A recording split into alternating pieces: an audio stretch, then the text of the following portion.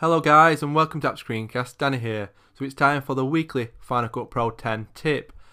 Now before we get into the video I just want to do a quick apology actually on the lateness of this video. I try and get my uh, weekly Final Cut Pro 10 tips out on Wednesdays but this week I actually forgot so it's a little bit late so sorry about that. But hopefully you'll enjoy this week's tip. So in this week's tip I'm going to actually show you how to add your own custom lower thirds just like you might have seen in my video a few seconds ago. Now, before I actually show you how to create your own lower thirds, um, I just want to quickly talk about the actual ones built in to a Final Cut Pro 10. So if you go over to the text tool and you go to lower thirds, you can obviously use all these lower thirds, and they're actually pretty cool, and I actually use quite a lot of these in my videos. Um, they're really simple, just drag them into your timeline, and you can, you know, customize them to suit your video. Um, there's quite a few you can choose from, so let's have a look at a few of them. So there's quite a few, and like I said, they're quite good. Um, what else you can do actually, which is a good tip, is you can just use any of the actual text in Final Cut Pro 10 and make that into kind of a lower thirds. So for example, this one here, as, as you can see, it's a little bit big. So what we can do is just hit transform and resize it um, and position it like so. And we can obviously change the color and so on. So that's one way of kind of creating your own little lower thirds really quickly. So now I'm going to show you how to create your own custom lower thirds. There's quite a few ways you can actually go about this, but I'm going to kind of show you the easiest way, most simple way, and this is how I actually do it for my videos. So what you need to do first of all is actually open up a program like Photoshop. If you haven't got Photoshop, you can try something like GIMP, which is actually free. Um, definitely recommend that if you haven't got an image editor already, because it's obviously free. Or you can use something like Photoshop or Pixelmator, or something like that. And what you need to do is first of all is create a document. So what we're going to do here is actually create a lower third in this image editor. So we'll go up to file, we'll create a new document. Now I recommend choosing the resolution same as your video. So my video is a full HD, so I'm choosing width 1920 by 1080. And the reason I, choose the same um, size as my video is I just find it easier then when I'm creating my lower third to actually gauge what size I want to make it. So as we can see here, we've got the canvas now. Um, we need to make this a transparent layer, so just make it transparent. So I'll hide the, hide the background layer. As you see this layer here now is is the um, transparent layer. The way you can tell it's transparent is it's checkered basically. So you don't want it to be a block color like white or black or anything like that. It needs to be transparent. Then what I'm going to do is just quickly create a lower third. This is going to look quite rubbish actually because I'm just going to show it as a demo. But you can obviously be a little bit more creative here. Get your creative juices flowing and try and create something really cool. Um, so I'll just quickly create one. So we'll go for something really weird. We'll go for orange, like so.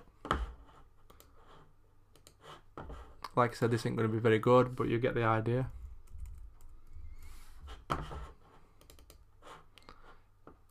If you're not too good in something like um, Photoshop and that, I guess it's just a bit of practice.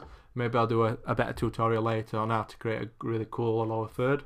But for the purpose of this video, I'm going to keep it simple.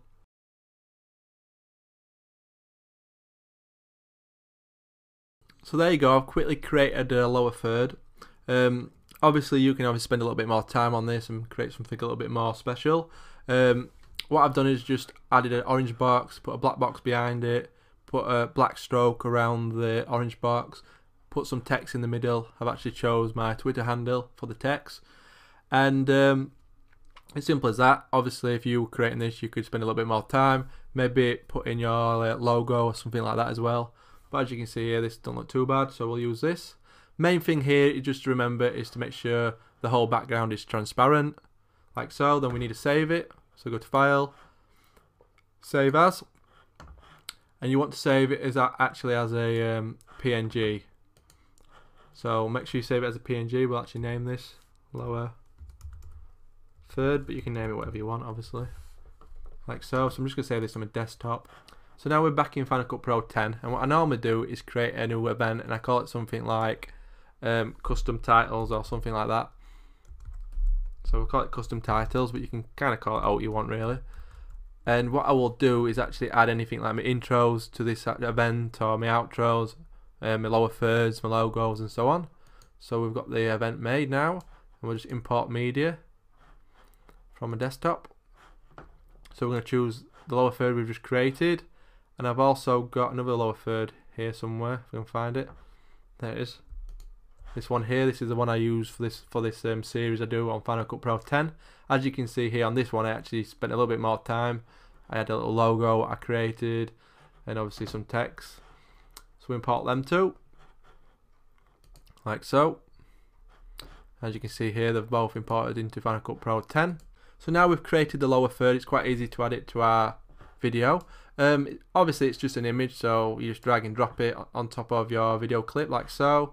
And now when we play this video clip, the lower third appears like so. Um, because we actually chose the resolution of this image to be the same as our video, it fits perfectly how we wanted it to. We don't have to resize it or anything like that. But if you do choose you want to resize it, you can just click on it, go to transform, and you can then just choose a different size or resize it. Also, you can rotate it if you wanted to, and reposition it. So as simple as that, but I'm happy with the size, so I'll keep it how we had it. But obviously when we play this now, it just kind of appears out of nowhere. We don't want that, we want it to be a bit better than that. So we'll select that video, so we'll select the lower third, and we'll go to transitions, and we can add some transitions. So we'll go for this one, the simple cross dissolve. So now when we play this video, the lower third slowly comes in, which is quite cool. But I think we can do better than that. So we'll delete the dissolve transition. And the one I like using is probably the one in movements, and it's the um, swing, not swing, sorry, the slide one. So we drag that in, and we put it at the back as well. So now when we play this, it actually slides in, which is quite cool actually. Just play that again for you. As you can see, slides in, looks really good. But if we go to the back end, actually, it doesn't quite work towards the end because the, the wrong clip slides in. So we want to change that. So you need to select the, um, the transition. Go up to your inspector and we need to change it from slide in to slide out. I think we have to make sure it's in sliding right, want it to slide left. So now we play this, it slides back out the way it came, which we want. So that worked really well. Um, but like I said, you don't have to use them transitions. There's loads you can choose from. So we'll try this spin one, see if this actually works. So as you can see, the spin one is quite cool. So what I would say to you is just have a little play and try a few of the different transitions out. Um, some work quite well with these lower thirds we've made. Um, some not so well, and some you need to go into the inspector and tweak a little bit to get them to work right.